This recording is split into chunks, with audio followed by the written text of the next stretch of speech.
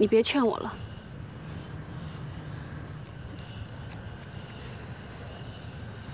水村，这是我给秋山准备的结婚礼物，麻烦你替我交给他，替我祝愿他和林子白头偕老。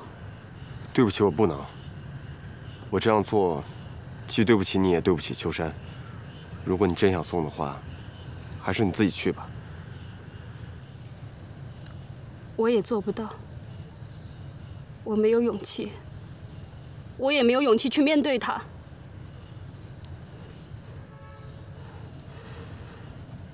好了，不说了。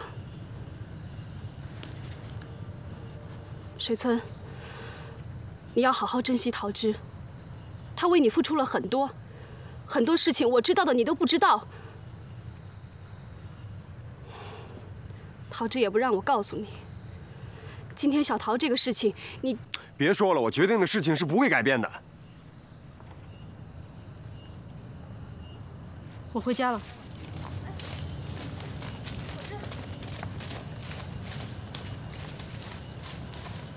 桃枝，我没事，姐，你不能就这样走了。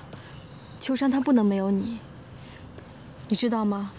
在医院，他一直都在喊你的名字。可是林子呢？他在医院跟我说的那些话，让我一点退路都没有。我没有丝毫可以回旋的余地。这个时候，我的选择只能是离开。你这是在逃避，可是这可能是最好的结果。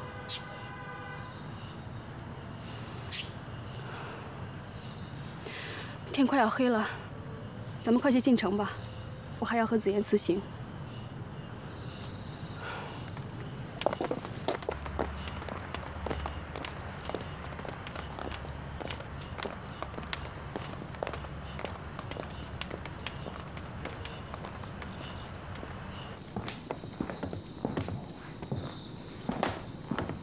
水村，吃饭了。小桃今天就在这里睡了，明天一早再赶回去。星野都对我说了，你把桃枝惹生气了。谁惹他生气了？他自己愿意走就走呗，我又不能限制他的自由。你管桃枝叫别人，他是不是你的爱人？你还爱他吗？当然爱，但是不能因为我爱他。你听我说完。你把我当弟弟吗？今天弟弟来求哥哥一件事，可以吗？你说。你我是一样的人，在这件事之前，我从来没有想过自己会去做伪证。但是这次我要做。明天我在法庭上为我自己的爱人作证，因为我爱他，因为这个世道。我们只能这样。做伪证，就是我们对那些人的反抗。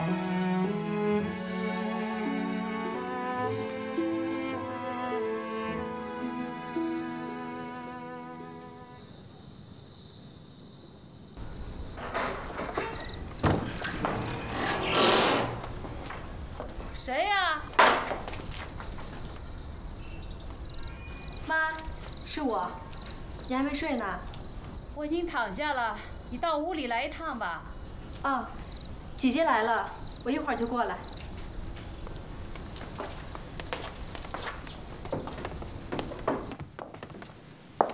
妈，嗯，怎么？苏琪已经睡下了。嗯，不过她睡也睡不踏实，她准备离开南京了。她一个女孩子家。家里又没有亲人，他打算去哪里啊？除了上海，他还能去哪？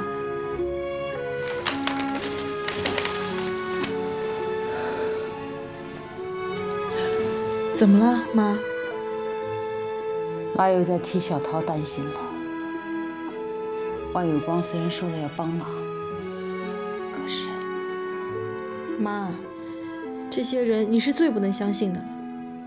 你不用管，我有办法。到这，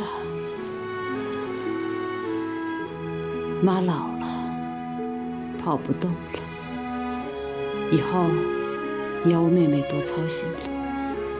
妈，你今天这是怎么了？自从你和万有光喝茶回来，我就见你一直不高兴，是不是和他有关系啊？别瞎猜了，你也早点去睡吧。明天一早，我们陪小涛去法庭。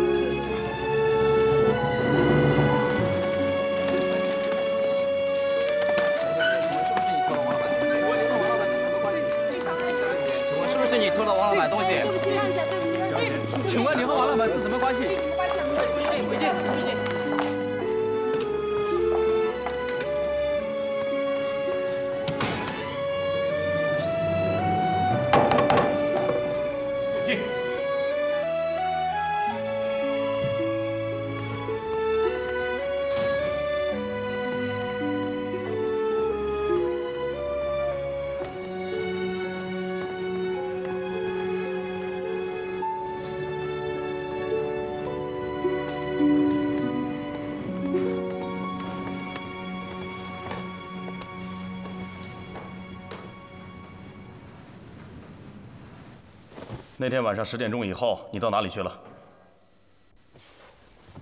我出了六朝居，遇到李太湖，他要我散步，我们就一起去了梁家。有证人吗？嗯，主人梁秋山病在医院里，我们到的时候遇到了他寄居在那里的朋友于水村。你什么时候到的梁家？约莫十二点钟，我们是走着去的，因为路很远。李太湖约你去梁家，事先说明过吗？说明了，那么说，你承认你们是通奸了？你们有过奸情几次？一次都没有。胡说，没有奸情，可以夜深到梁家寄宿？怎么不说话？我们不是奸，男女在一起就必须要有奸情吗？我们是夫妻。胡说八道！哼，夫妻，你们正式结过婚吗？没有，因为家庭不通过，我们就秘密宣布结婚了。宣布结婚，向谁宣布？就是那位莫心野，什么地方？就在梁家，什么时候？就是那晚。那么，请你再说一遍你丈夫的名字。李太湖。法官大人，请允许我方证人出庭。好，请李太湖出庭。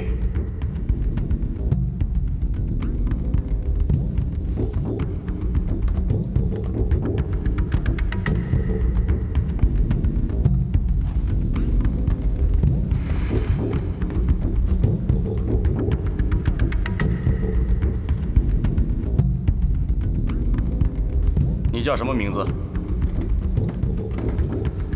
李太湖，你从事什么职业？我是太湖照相馆的摄影师。请问十二月十三日晚，你在哪里？和谁在一起？十三日晚上，我和好友于水村、莫心野和小桃小姐去了梁家。你说你和小桃小姐去了梁家，都快十一点了，从散戏的地方到梁家要经过一段很荒僻的山路，那里是乡下，他敢去吗？爱情发起作用来，刀山都能上，怕什么？何况有我陪他呢。你这种人，知道什么叫爱情吗？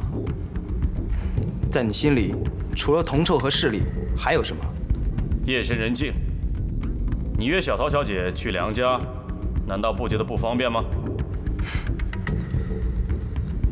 夜深人静，王老板约小桃到他的房间，就方便吗？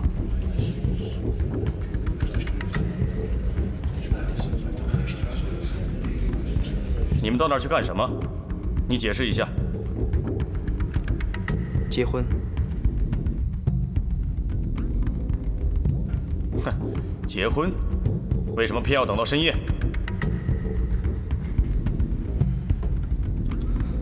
我是个穷摄影师，自然配不上小桃。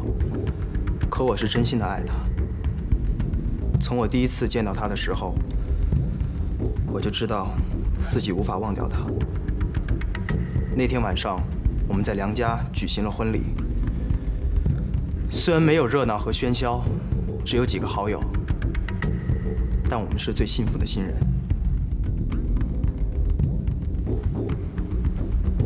因为我们的爱是真诚的。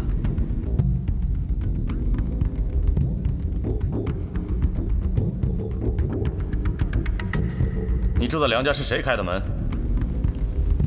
我的朋友于水村。那天还有别人知道吗？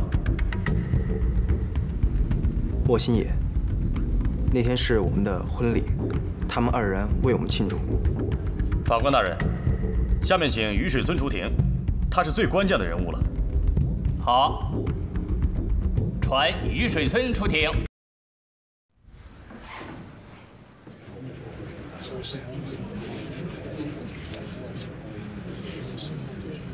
啊法官大人，雨水村他还没有来。嗯，我来了，法官大人。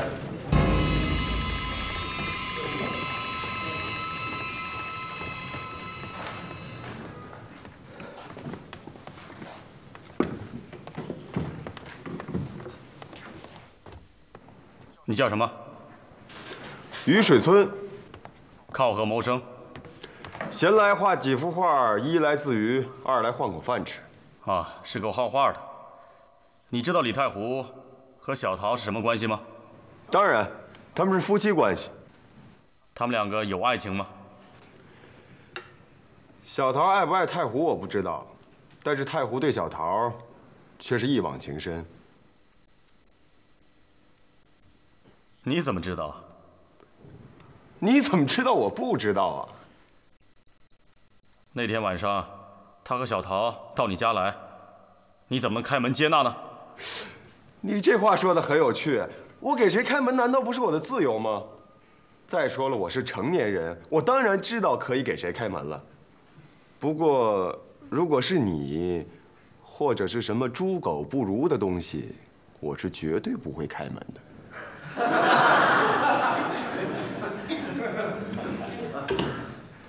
被告李小桃虽然说那晚在梁家，但是李太湖是他的爱人，于水村是他的朋友，或许有人串通一气，预先准备好了供词，准备好了证据呢。法官大人，我还可以再说一句话吗？呃，可以。方才这位律师说到“串通”二字，我觉得这个词儿用的极好，不由得让我想到，你和原告，或是原告和其他的什么人。是不是也串通起来来陷害我的朋友李太湖的妻子呢？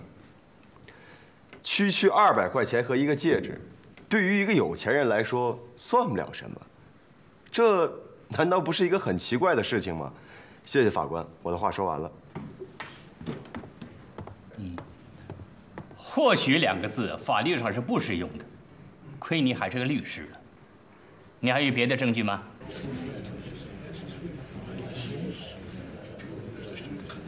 你是个捧角的，花上个三千两千的，当然是毫不在乎。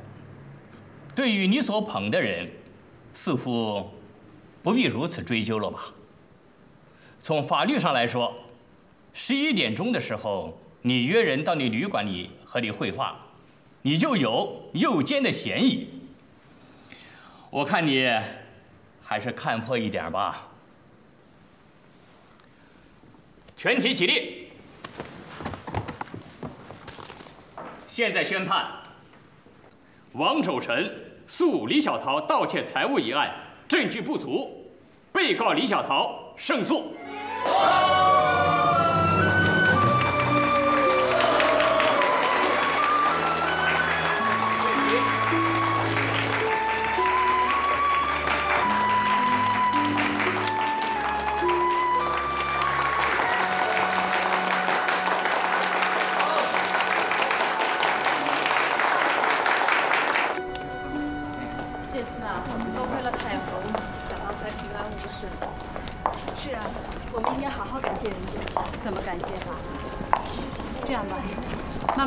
家里摆一桌酒席，第一替小桃压压惊，二来也是谢谢各位的帮忙。莫先生啊，连累你了，真是对不起。哎，于先生呢？我看他出来的呀。啊，他可能有事先走了。一定得叫上他。刚刚在法庭上他说的多好啊，多亏他了。帮忙去叫辆车啊。记得啊，一定要来。阿姨，这本是应该做的。对，阿姨，您太客气了。史村，你去哪儿了？我妈刚才还找你呢。我看见卖瓜子儿的，你不是喜欢吃吗？谢谢。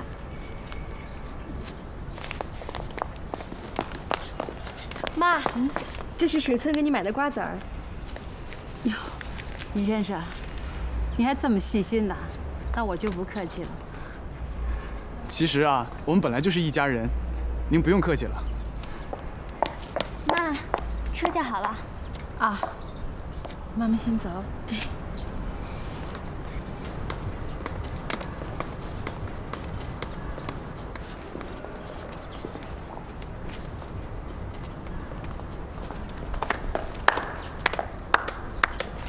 精彩，太精彩了！我真是低估了你啊！偷了别人东西，还赢了官司，不错，是个好演员。舞台上表演的好，生活中的戏演得更好。请你说话干净点，谁偷你东西了？别以为自己有几个臭钱就了不起。你放心，这件事我暂且不追究。不过我告诉你，小桃，你是个演员，一个很有名气的演员。过早的结婚会影响你的前途。我会指导你，把你捧成最红的明星。你好好考虑考虑，前途重要。我的前途不需要你这样的人设计。还有，我也要告诉你，很多东西不是用钱就能买得到的。我知道你想说什么，感情，对吗？算你猜对了，但是你根本不了解。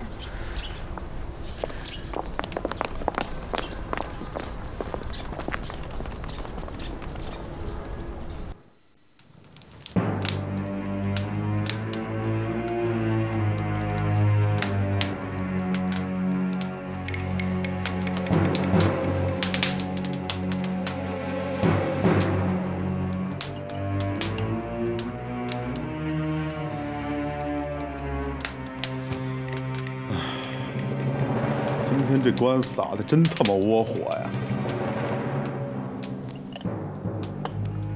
算了，还为这点小事生气，还是想想以后如何面对小桃吧。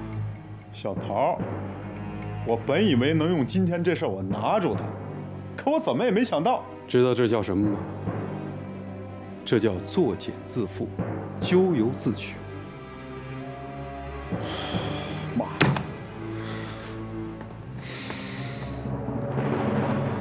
你说我王守臣行走江湖这么多年，今天栽到一个小丫头手里，我……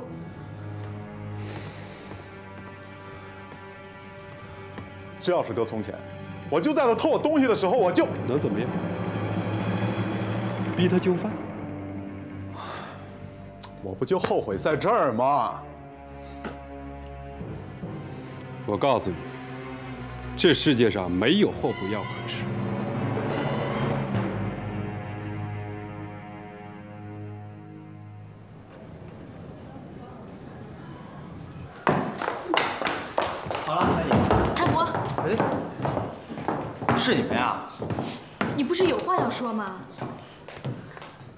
好今天来我家吃饭，怎么你忘了？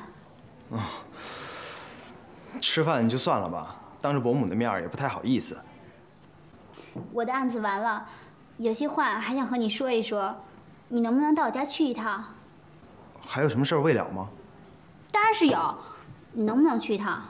嗯，那好吧。妈，嗯，谢谢。来，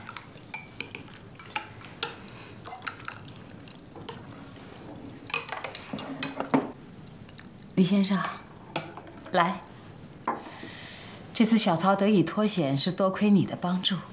我这当妈的就该当面谢谢你。我敬你一杯。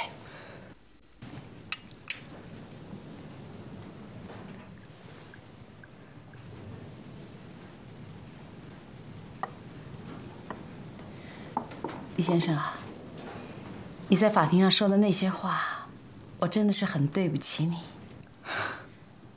但是只有这样，法官才能相信你们秘密结婚的话，所以我得当面的向你道歉。哦，那都用不着，我又不是三岁小孩子，我有不懂吗？那天晚上我们商量好了的口供，我就一口咬定，死也不变。至于将来有麻烦，本在我意料之中，您能原谅就好极了。哎，这可不是“原谅”两个字可以解决的。现在法庭上一对口供，报纸上登了出来，人家都以为你们两个是夫妻了。你们两方面只要有一方面不承认，那这案子就要翻过来，而且连证人都要犯罪了。那依我看呢，最好的办法就是你们两个弄假成真，这也不枉费我红娘一番撮合之功嘛。桃枝，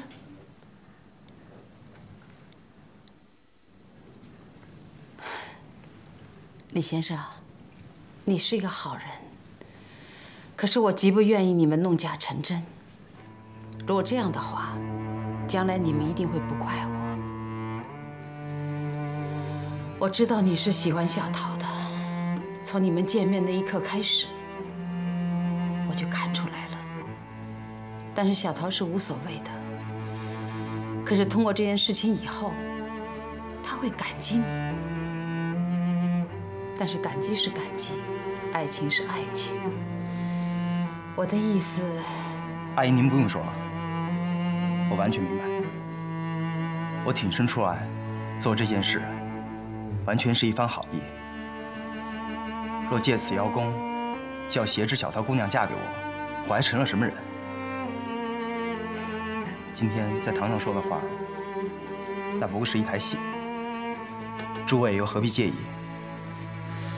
我的意思是，你们可以结为兄妹，以后可以常来常往吧，让这个妹妹多恭敬你大哥一点。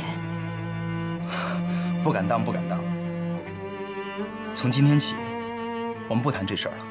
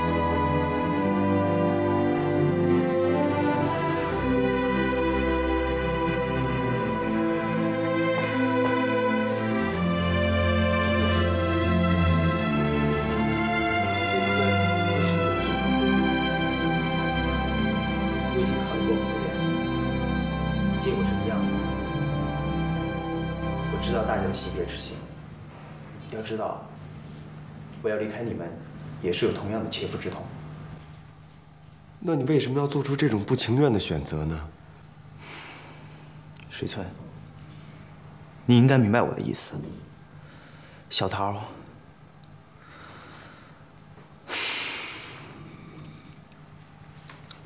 我知道你想挽留我，但是我在这样的艰难之下，违背着自己的意愿做出的决定，你觉得还有可挽回的余地吗？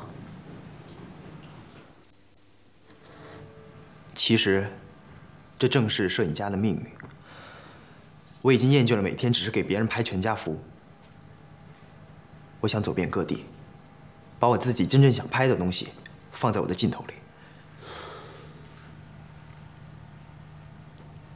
那以后呢？你想过以后吗？以后，我们就相忘于江湖吧。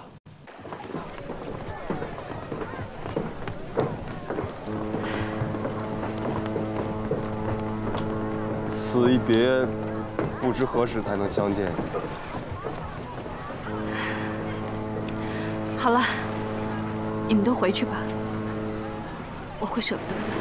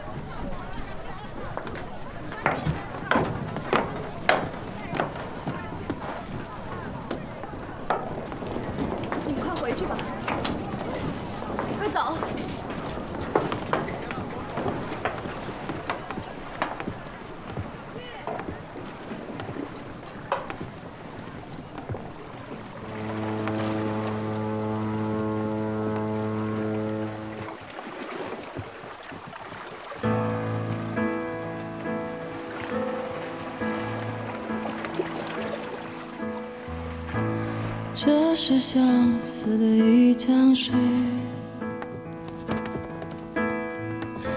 让今生的漂泊无悔。呼来换取是谁的心，更定了你，哪怕有去没有回。相识相知的缘。也爱过，也恨过，爱恨之间有什么？那么多的悲喜，怎么能舍得？你看满江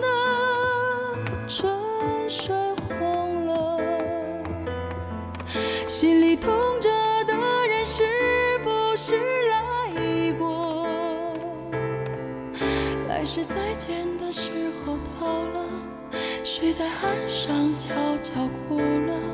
想不起同生共死的誓言和承诺。你看满江的春水红了，心里痛着的人是不是来过？秋山，来时再见的时候到了，你的腿怎么了？想不起同生共死的誓言和承诺。怎么会这样？是一辆车把它从我身上夺走了。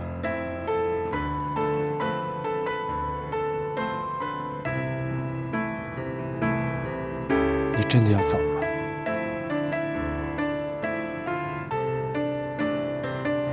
为什么？因为我。你不走不行吗？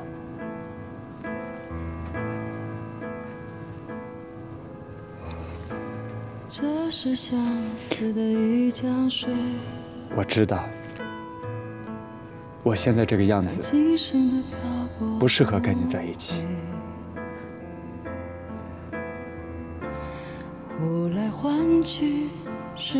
但是我真的希望你能留下来。我没有别的奢望，只是希望你能留下来。也爱过，也恨过，爱恨答应我之间有什么？留下来好吗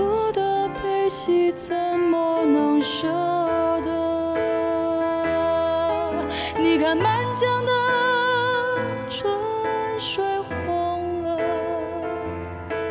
心里痛着的人是不是来过？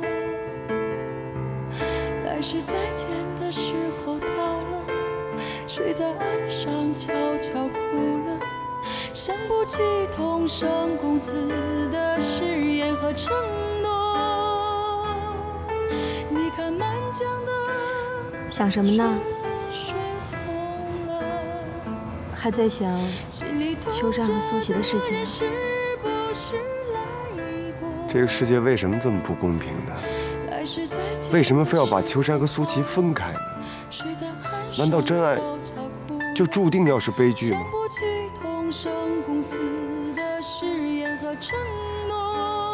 我们结婚吧，我不想再等下去了。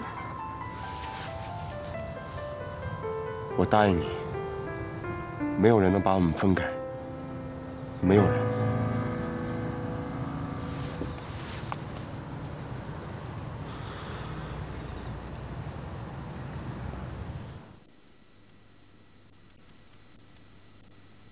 秋山，感觉怎么样了？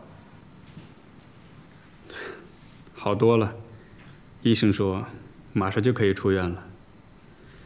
这几天幸亏玲子，要不然我可能都活不到今天。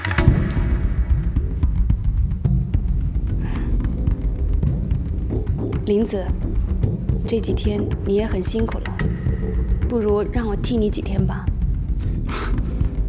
不用了，自家的事情，外人插手总不太方便。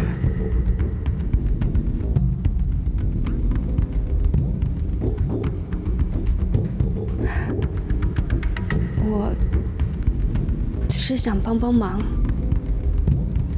苏小姐，不用了，我不觉得累。只要能和他在一起，我就觉得踏实，做什么事儿都不觉得累。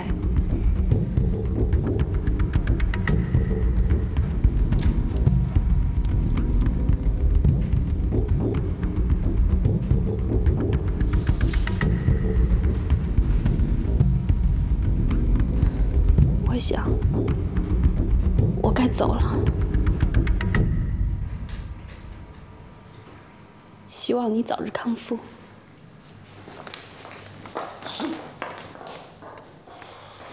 出去，玲子，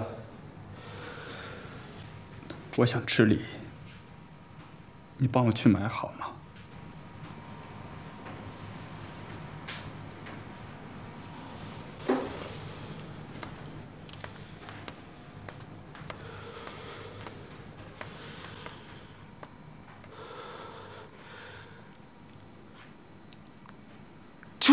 为什么呀？难道你就这么结束你和苏琪的关系？就算你有什么难言之隐，你也没必要伤害她呀。你太让我失望了，志村，你看，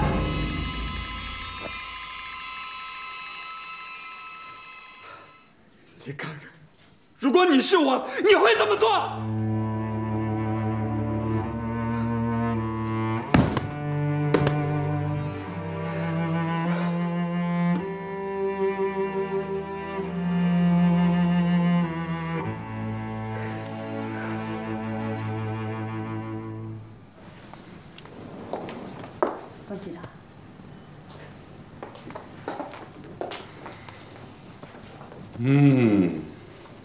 洞庭碧螺春，李老板好品味呀。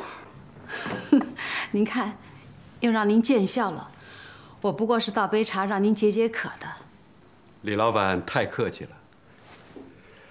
我这次来是看李老板还有什么需要没有。谢谢万局长的牵挂。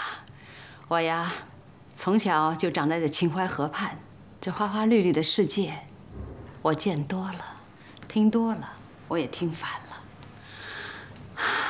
活了大半辈子了，我现在才悟到，原来人生还是如茶的好。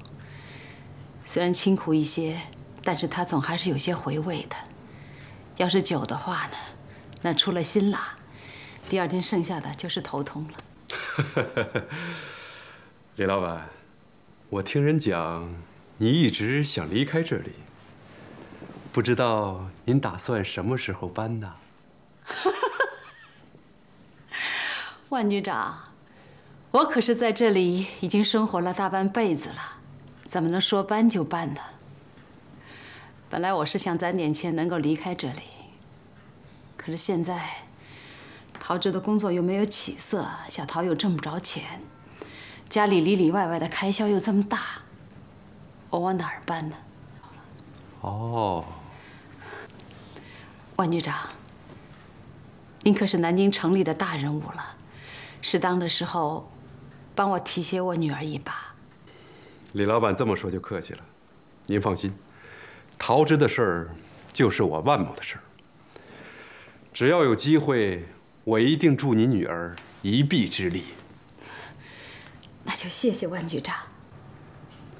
李老板，看来我上次给你开的支票是不够了。万局长总是很照顾我们孤儿寡母的，可是我老用你的钱，我的心里也是。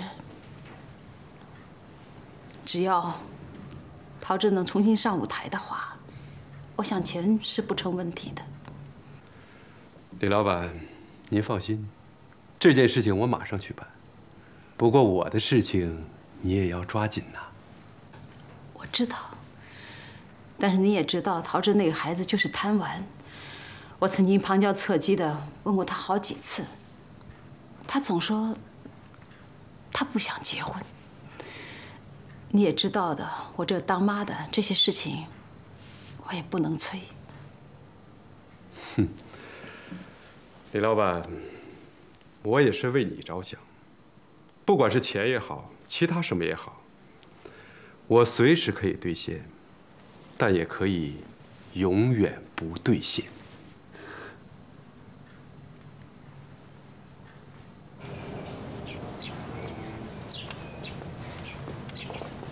万局长，那陶之上台的事情，我这就去歌舞团问一下。那就拜托了。再见。慢走。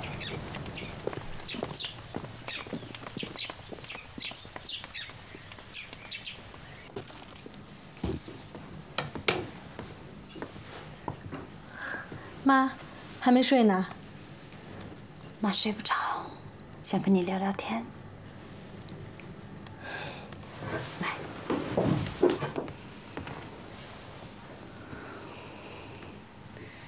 妈一直。想给你和妹妹找一个好人家，让你们以后可以享享福，别像妈那样操劳。妈，你就这么着急要把我们都嫁出去啊？妈当然舍不得把你们嫁出去，可是你们长大了，早晚都要嫁人的吧？妈，你是不是有什么事情要对我说？万局长跟我提过好几次亲，你答应了？没有，做嘛。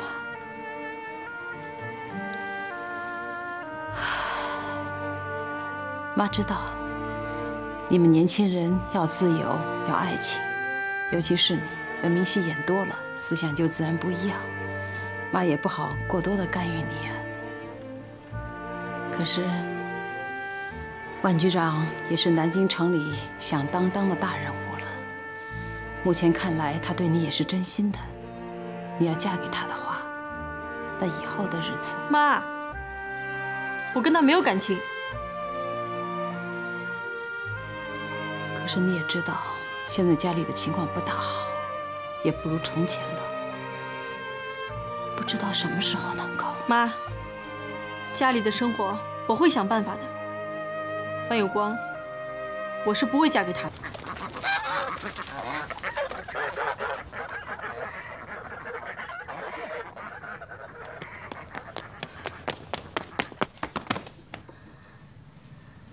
干嘛呀？这么风风火火的，出什么事儿了？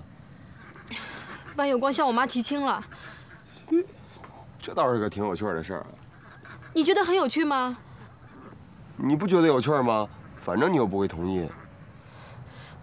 要是我妈同意了呢？你妈同意怎么了？她又不是你。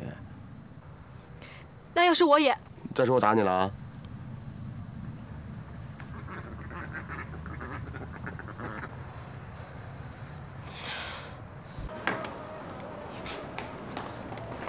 你怎么不等我呀？一个人跑出来了。我这些日子实在是憋坏了，只想早点出来。你一个人出来，我怎么放心呀？下次别一个人瞎跑了啊！走吧。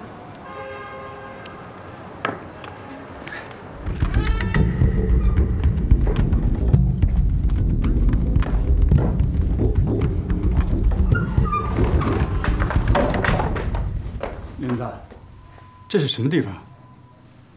家，我们的家。原来的房子呢？我们为什么不回那里？住哪有什么不同？只要和你在一起，住哪都一样。我是问你原来的房子呢，你为什么不回去住？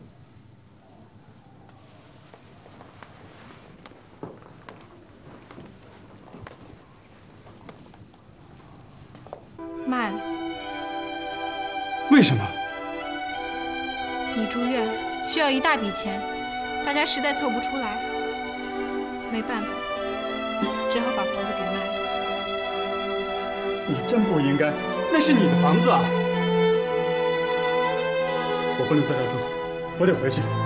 秋山，可苏琪她在那儿住。